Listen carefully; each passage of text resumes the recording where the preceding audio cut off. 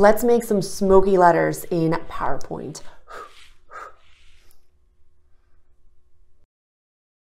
I actually discovered this trick by accident when I was experimenting with the morph transition and thought it was super weird and cool, so I had to share it with you. So in this video, we'll cover how to make these smoky letters in several different ways. When you have the same number of letters, when you don't, when you want to morph a word into a picture, and finally, make the letters come out as smoke from something else. And yes, for this, you will need access to the morph transition found in the latest versions of PowerPoint. So if you have an older version, I would recommend upgrading if at all possible, as it's truly a game changer for animation. You can also get a free trial of the latest PowerPoint at the link below. The main principle behind the smoky letters is that if you have the same number of vector shapes on slide one as on slide two, they will morph from one to another with a smoky effect when you add the morph transition between them. And vector shapes, by the way, are objects that you can recolor and resize as you like without losing quality. And you can also edit their points.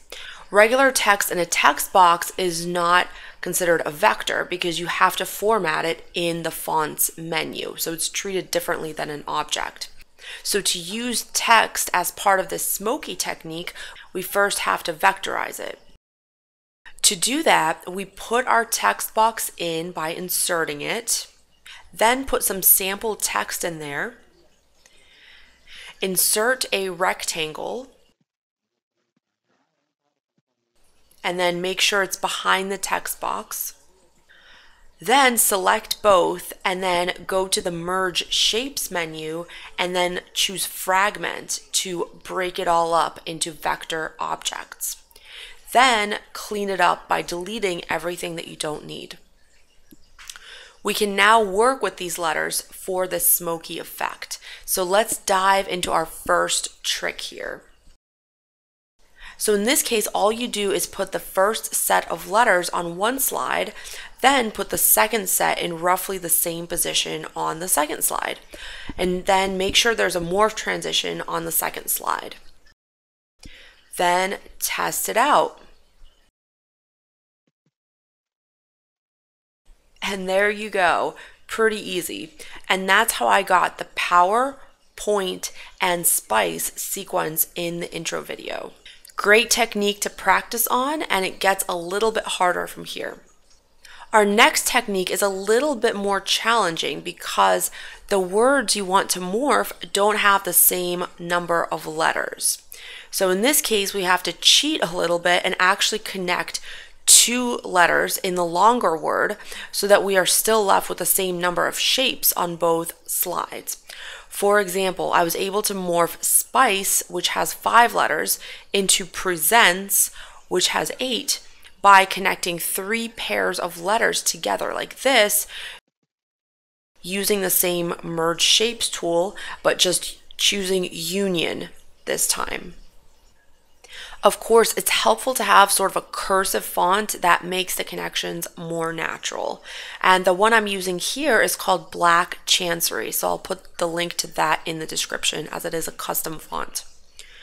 So once you have the letters connected in the right way, where the number of vector objects on the first slide equals the number of vector objects on the second slide, you should be able to do this effect. Let's test it out.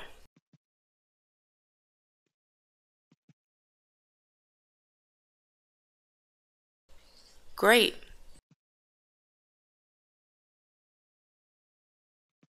Good, now we've come to the third and probably the hardest way to do this, though it's probably the coolest actually. Morphing words into objects or vice versa. There are two things you need to make this happen.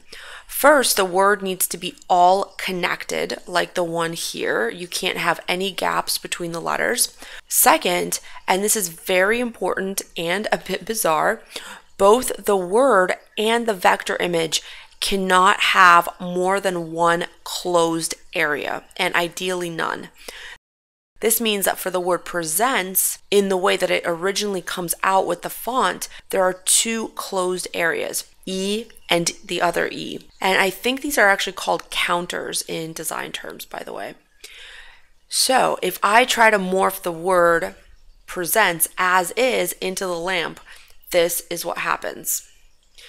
Still looks okay, but you lose that kind of cool smoky effect. So what we need to do is to open up what I call breathing holes in here in the word presents. That is, you need to use very small skinny rectangles to open up little areas in the letter by again using our fragment tool and then cleaning it up.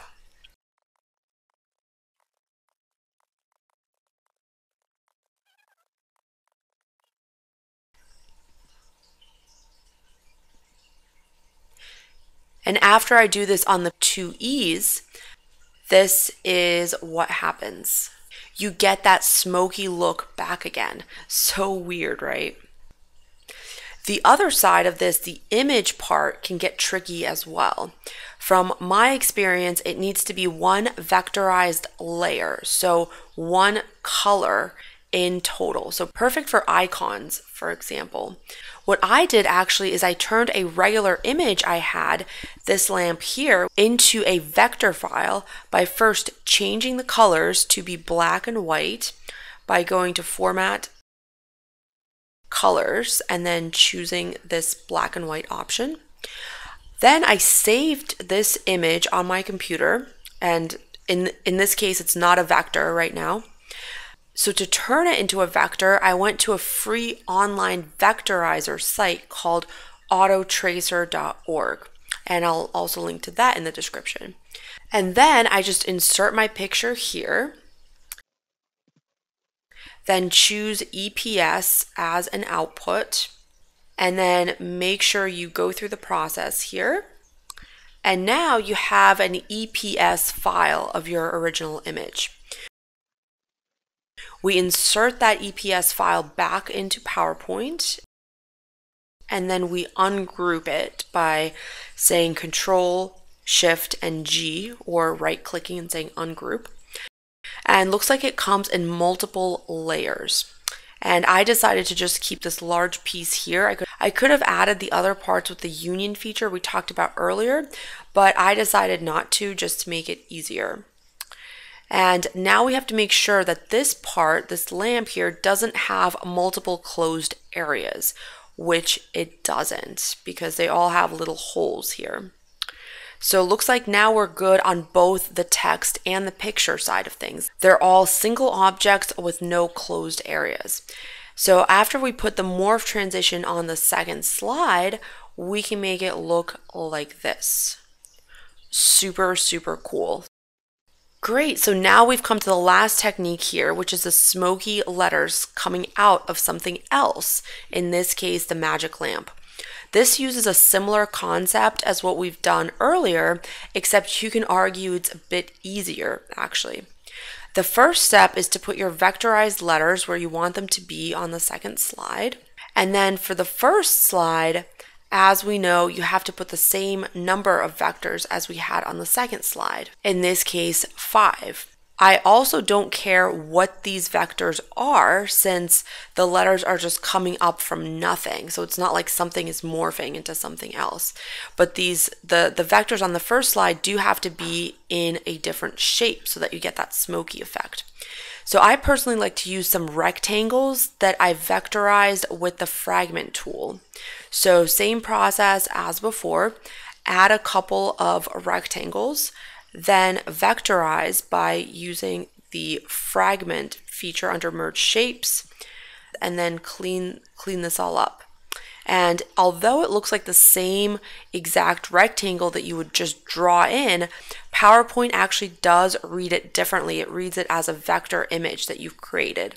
So you do have to do this step instead of just drawing it in. Now, since I have five letters on the second slide, let's make five of these rectangles.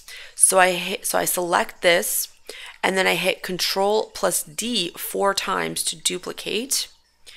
And this is what I call the smoke seeds because the letters on the next slide will kind of grow out of them. So now we put these seeds into the place where, where we want the smoky letters to come from, the tip of the magic lamp. Make these as small as possible. I like to kind of zoom in and then use the, the, the size menu to, to make them really small.